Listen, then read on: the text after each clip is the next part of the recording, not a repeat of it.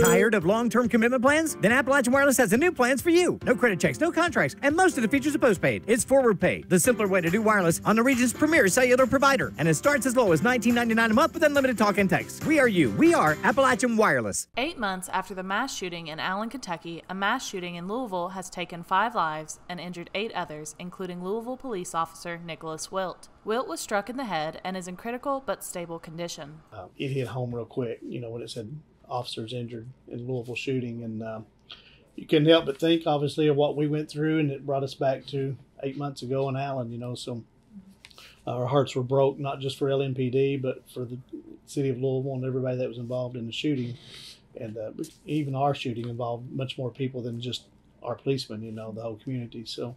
Um, it really hit home, and we couldn't help but uh, our hearts broke for them, and uh, and still thinking about all the especially the guy that's in surgery. We know what he's going through, his family.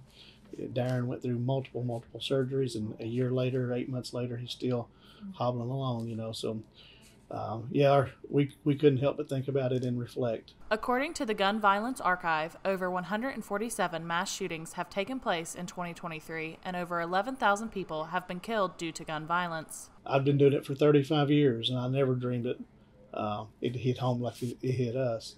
And when it did hit, it hit in the worst way. It involved us directly. It was it was strictly just between us, and we no longer say that. We no longer think it can't be us. And, and here it is in Louisville. And uh, just days before that, it was in just in Tennessee, Nashville, just right across the Kentucky line. And um, it's happening more often, and uh, we can't help but think about it. And we now train for it too. Following the shooting in Allen, Jefferson County gave the Floyd County Sheriff's Department three cruisers, radios, and support following the incident.